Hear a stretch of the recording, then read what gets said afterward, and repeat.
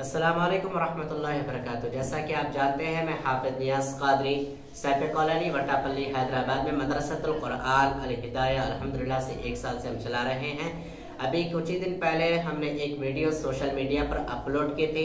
हमने अमजदुल्ला खान साहब को मदरसे के ताल्लुक से ज़िक्र किया था तो उन्होंने अपने पार्टी के लीडर मोहम्मद नौमान भाई को मदरसे पर भिजाया था।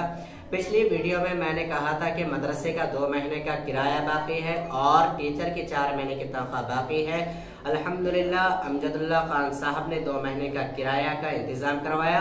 अब फिर आप तमाम हजरात के सामने आने की वजह यही है कि पिछली वीडियो में मैंने कहा था कि टीचर की चार महीने की तनख्वाह बाकी है।